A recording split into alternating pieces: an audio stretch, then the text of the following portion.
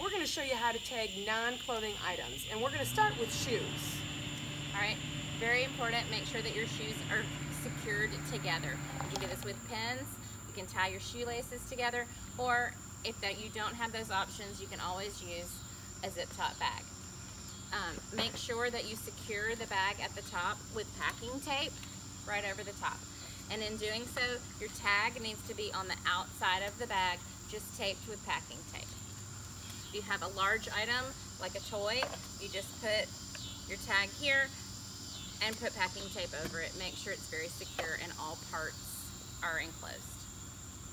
If you have books, you would like to sell them in a group, we recommend getting some gift ribbon, tying those together, taping, or punching a hole through the tag to attach it to the books. Try not to tape right on the book, see if you can get it on the ribbon to minimize damage.